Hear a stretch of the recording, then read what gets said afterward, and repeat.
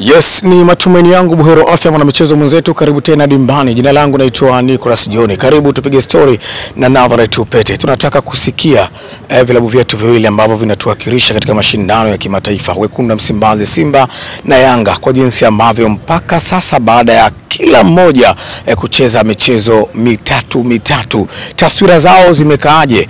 Nini hasa ambacho tunakitarajia kikubwa kutoka kwao? Je, wanaweza kututoa kimasomaso kutinga hatua ya robo fainali ligi ya mabingwa barani Afrika? Tusubiri maneno yake. Nazareth tupete ni miongoni mwa watangazaji wazuri, lakini pia ni miongoni mwa watu wa mpira. Yeye ana uelewa mkubwa sana na mpira wa Afrika. Karibu tupige naye story. Kwa kwanza, tutaanza na wekundu wa Msimbazi Simba, lakini kabla hatujapiga story na Nazareth Tupete, wacha nikwambie tunapoa nguvu na Sullivan Provost ni shule ya bweni kwa wavulana kuanzia kidato cha kwanza mpaka kidato cha nne. Mpeleke mwanao, maana shule imekwisha anza pokea vijana wanahitaji kujiunga na msimu mpya masomo wa mwaka 2024 kuanzia kidato cha kwanza mpaka kidato cha nne. Taarifa njema bwana, eh, interview za kupokea vijana zimeanza kufanyika shuleni Kibaha mkoani Pwani kila siku ya Jumatatu mpaka Jumamosi saa tatu kamili asubuhi na kuendelea kwa shilingi elfu ishirini tu ya Kitanzania. Mpeleke mwanao, e, maana shule bwana na vionjo mbalimbali, wanafundisha lugha ya Kichina, wanafundisha kilimo biashara wanafundisha pia eh, music bure kabisa. Yes, karibu tupige story na Nazareth Tupete. Uko vizuri? Alhamdulillah, kwema. Kwema. Tunamshukuru Mungu mzee. Eh. Yeah, naona leo umekula white. Na wewe kama umekula white ama nani watu wanaweza kufikiri Eh, kwamba tuliambizana. Tumeambizana inakuwaje mambo? nashangaa mpaka China. Yeah. Kasoro mimi tu ndo sijatupia wewe. Sijatupia Black black. eh. suruali okay. Yes. Bwana Nazareth Tupete, nataka tuzitazame kidogo timu zetu, lakini kwa kwanza tuanze na klabu ya wekundu wa Msimbazi Simba. Umekuwa ukilitangaza vizuri sana kandanda, watu wanakuelewa. Nazareth Tupete, mtazamo wako juu ya wekundu wa Msimbazi Simba, michezo mitatu, alama mbili. Yes. Unajua eh, kitu kizuri ni kwamba anayeongoza kundi lao na alama saba mm. uh, anayefuata na alama nne mm. eh, kwa maana ya Jwaneng Galaxy kama ataongeza alama nyingine sijui, labda itokee kwenye maajabu ya mpira for the sake of football but uh, I do believe uh, hata okay, okay. Bahati nzuri amekuja mkuu wangu Evans mm. uh, tungeweza kumstua Evans. Eh, itakuwa vizuri eh, tukipata sasa pia huyu- huyu ni mkuu wangu, so anaweza kaja akatoa mtazamo wake, lakini wake. Eh, kuhusiana na mawili matatu. Eh, nani kuna bwana huyu ndo mwalimu wangu ndo mkuu wangu wa kazi tunafahamu vizuri. Eh, na miongoni ndo mkuu wetu. ambao tunataka watie neno kidogo tu kuhusiana na Simba, nafasi yake iko vipi bwana Mwando? Bwana tukatae bwana Bwana Evans Mwando. Eh, mkuu wangu mkuu wangu wa Eh, kazi brother, bora nataka tukatae sasa. bwana wewe ndo Eh, mkuu wa dawati la michezo kweli. Kwa hiyo hata sisi bisi Kwanza tukija brother, kwanza heshima yako. Poa poa. Mimi mimi tatizo moja. Ndio. Eh, napenda sana kuhoji. Napenda sana kuhoji. Na kitu pekee ambacho nakifanya kwenye kwenye uandishi habari napenda mm. ni kufanya interview sana sana sana. mm. Lakini mimi sio mzuri kwenye kuhojiwa. yeah, Ya, sio mzuri hata kidogo. Yani kidogo. na, na, na mbaya zaidi sipendi sana kuzungumza kuhusu Simba na Yanga. Okay. Ya, na katika maisha yangu sipendi mtu kuuliza wewe Simba au Yanga. Sipendi kwa sababu sipendi kuzungumza- kwa sababu gani unajua? Eh, mimi nawaheshimu sana wazazi wangu. Sawa. Kwa sipendi mtu yani ah, tunazungumza mimi ndo nazungumza kuhusu Simba kuhusu Yanga then unaenda unatukana mzazi wangu unafanyaje umeona eh?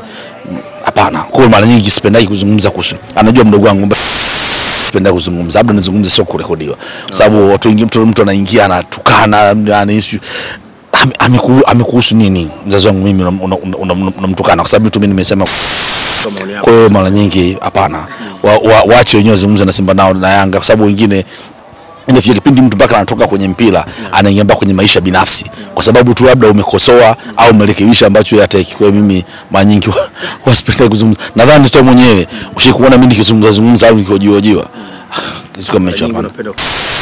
Penda nikiwa na hoji hapa tutapata mtazamo wako kwenye Simba kwenye kimataifa. Tunataka kimataifa tu. nawatakia kila la heri, Vilabu vyetu. Eh? nawatakia kila la heri, Nawatakia kila la heri.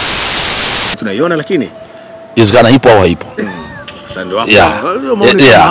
Inawezekana ipo. Unajua mbaya zaidi mm. eh, kuna watu ambao wana, wapo kwenye hizi timu wanawaaminisha mashabiki wao mm. ni kama haya mashindano ni kama wanacheza na Goba United au Chamazi United.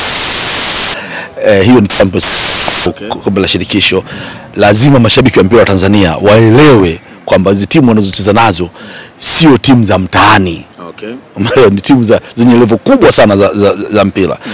usichukulie tu kwamba ah, unajua wakija hapa hawatoki. Sio nini? Hapana hapana. Mimi mimi nilishakuongea na mashabiki wa Simba na Yanga juzi juzi nikawaambia hivi mnazielewa hizo timu mnaweza kwenda kucheza nazo?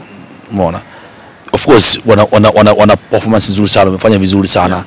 lakini bado lakini mimi ninachotamini mimi ni Mtanzania. Yeah. ndafurahi sana nikiona Simba na Yanga zikienda robo fainali, nusu fainali, hata kama kuchukua ubingwa ikiwezekana, lakini kihalisia kuna ugumu wake na kuna wepesi wake, so mimi nawatakia kila la heri. Ndio. Lakini ukitazama Yanga kama vile wanaona michezo yao wamecheza vizuri, ila kuna mambo madogo madogo kama mchezo wa mwisho amesema tu mwamuzi labda ndo akuwa upande wao, lakini wanaamini wakija nyumbani wataseto kila kitu, na wakipata alama sita shughuli imeisha, kujumlisha na zile mbili ambazo wamezichukua watakuwa na alama nane. Wakiangalia grupu lao alama nane zinaweza zikamsogeza huenda kutinga robo fainali. Hizo hesabu ya eh, mtazamo. Umalizia kwenye kusema ni mtazamo. Na kuzipiga hesabu ni rahisi sana kuliko kuzitekeleza.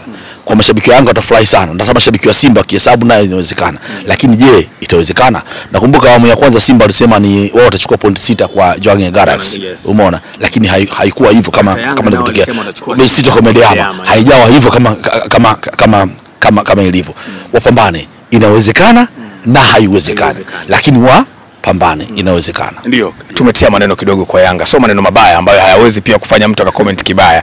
Kwa Simba naye naona mchezo wa marejeano anacheza na Wydad Casablanca katika dimba la Taifa. Simba hii ya Benchika inaonekana imebadilika kidogo, wachezaji wanautaka mpira, the way jinsi anavyopambana, unasema yes, kuna kitu kimeongezeka.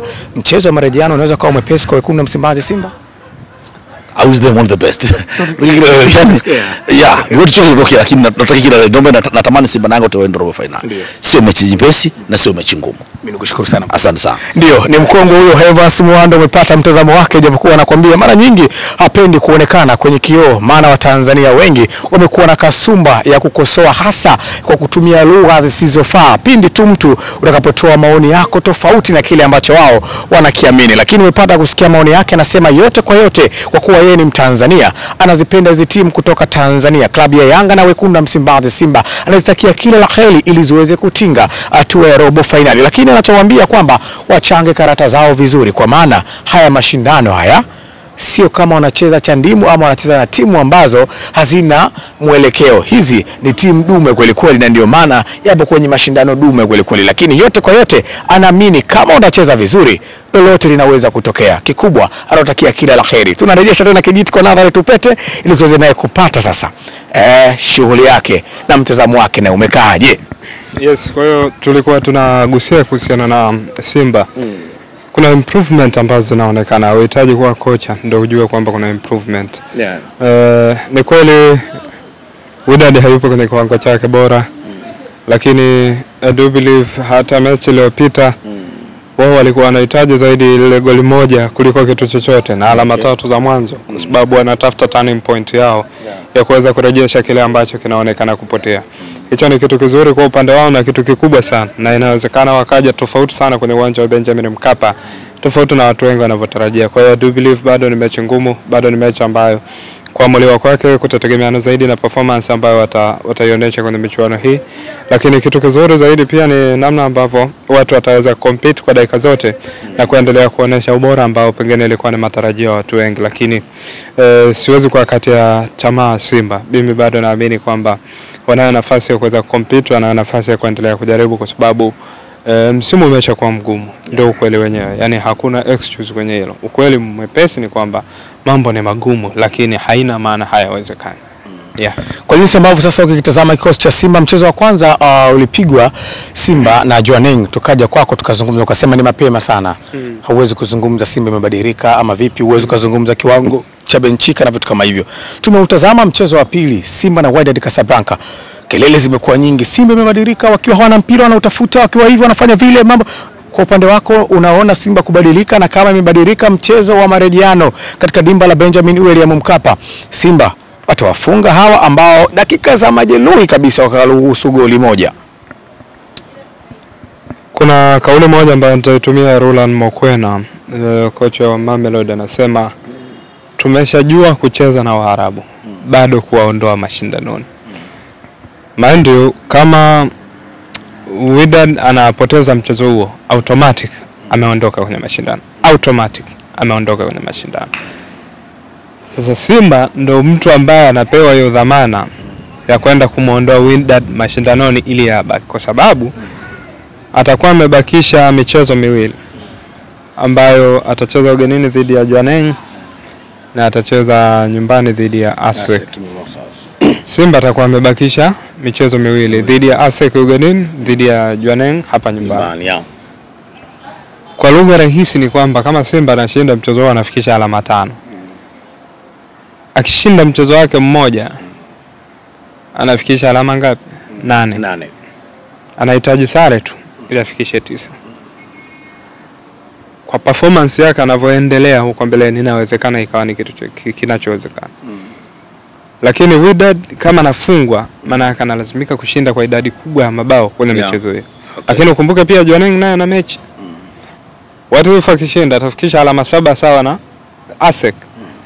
Kila mtu atahitaji alama tatu tu ili kujihakikishia kufuzu. Yeah.